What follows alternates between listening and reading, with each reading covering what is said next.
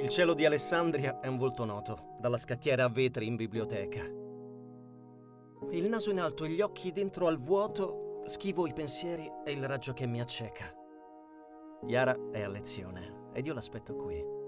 Andremo anche stasera al Cinemetro. Il nostro amico Sami il martedì ci lascia entrare in sala 3 dal retro. Lei a volte si avvicina a me, seduto, e copre la mia vista con le mani sotto la pelle dolce di velluto. Resterei cieco fino all'indomani. E faccio spesso finta di cascarci, ma poi mi libero dalle sue dita. Mi alzo in piedi e prima di baciarci le sorrido e la cingo dalla vita.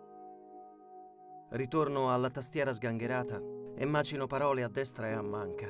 Ma questa traduzione di Zapata nutre più il cuore che il mio conto in banca.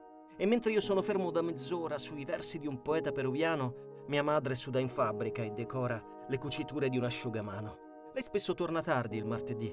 Vent'anni fa riprese a lavorare, da un mese dopo che papà morì, perché io avessi i mezzi per studiare. Purtroppo le mie lauree appese al chiodo non mi danno granché per il momento e nonostante io lavori sodo, tiro la cinghia e vado avanti a stento. Chissà se il mormorio cantilenato sotto questo soffitto circolare simile al rumore del passato di chi veniva a scrivere e studiare. Ricordo ancora i giorni in cui papà faceva con me lunghe passeggiate fra queste stanze dell'antichità, bruciate insieme ai libri e poi rinate. Da quando non c'è più, se chiudo gli occhi, mi sembra di sentire la sua voce. Lancette, schermi, pendoli e rintocchi battono il tempo sempre più veloce. E passano i minuti, è quasi un'ora, ma la mia Yara ancora non si vede. Poi appare a un tratto la sua amica Nora, che si avvicina rapida e si siede. So che hanno preso suo fratello Tarek. A causa del suo blog contro Al-Assad, i suoi non sanno proprio cosa fare. Temono per la sua incolumità. La sua famiglia viene da Damasco. Suo padre è un noto medico laggiù. Io per la loro figlia sarei un fiasco. Vorrebbero non la vedessi più. Dieci messaggi a vuoto sul display. Il cuore batte a mille, ingola un nodo. Per conversare un attimo con lei Andare a casa sua è l'unico modo. La biblioteca splende alle mie spalle, correndo solo l'aria mi sorpassa. Per strada gente muta e luci gialle. Poi prendo il primo autobus che passa. Li vedo proprio accanto alla fermata. Sua madre ha una valigia e un grosso ombrello. Lei con un'espressione rassegnata, mentre suo padre chiude lo sportello. Dov'è che state andando, per favore? Dove portate Yara nella notte?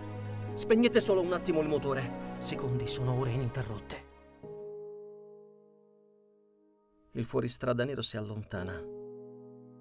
Scompare lentamente in un riflesso. D'un tratto l'automobile siriana si porta via un pezzetto di me stesso. Ma vedo una signora del palazzo che grida e mi fa segno con la mano. Devo parlarti! Vieni qui, ragazzo! Mi dice di salire al terzo piano. La sua cucina odora di candela. Mi fa sedere e intavola dolcetti e dopo un gran sospiro mi rivela. Io so dove i sultan sono diretti. Quassù queste pareti sono un foglio. La camera di Yara è proprio accanto e dalle volte, anche se non voglio, finisco per sentire tutto quanto. Suo padre ha un caro amico, un italiano, che ha offerto loro aiuto e protezione. So solo che è ricchissimo ed anziano e vive con la moglie a Pordenone. I suoi le hanno proibito di parlarti. Ha pianto quasi tutta la serata. Voleva almeno scriverti e avvisarti. Ma in qualche modo l'hanno spaventata.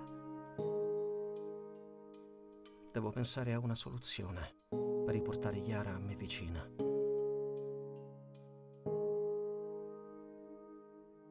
Dove si trova questa Pordenone? Prima cosa prendo una cartina.